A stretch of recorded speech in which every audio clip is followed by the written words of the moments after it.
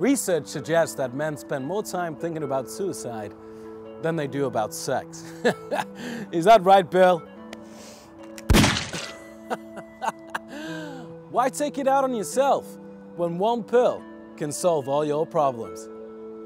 This is Dave.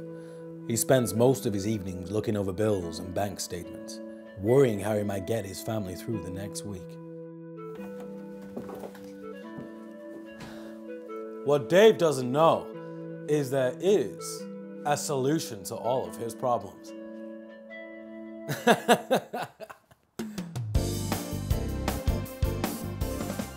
Anxiety, depression, paranoia, bad breath, social ineptitude, asymmetrical faces, athlete's foot, debt repayments, hemorrhoids, moves, hairy tongue, unemployment. You will be so numb, real life just fades away. Speak to your local pharmacy to arrange delivery.